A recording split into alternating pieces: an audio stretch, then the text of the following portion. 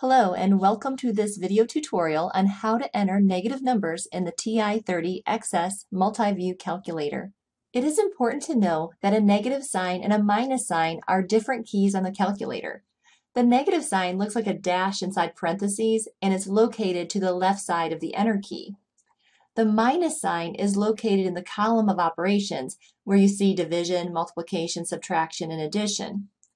For this demonstration, let's enter the problem negative 7 plus 2. We type in the problem in order from left to right. So I'm going to type in a negative 7 plus 2. When we finish typing, we need to click the Enter button on the bottom right of the calculator. And you'll notice the answer to our problem, negative 5, is located on the right side of the problem on the window screen. Now let's try another problem. Let's try the next one. So I'm going to clear the calculator and I'm going to type in negative 9 minus a negative 5.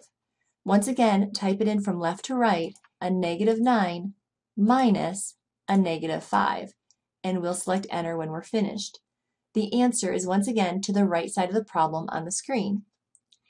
And notice when you did type in the problem that's over here on the left, notice that the minus sign is a longer dash than the negative sign on the calculator.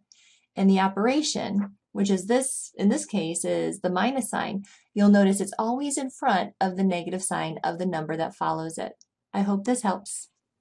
Thanks for watching.